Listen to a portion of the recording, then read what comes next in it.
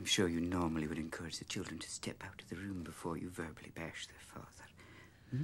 Well, if I did that, I might never see them again.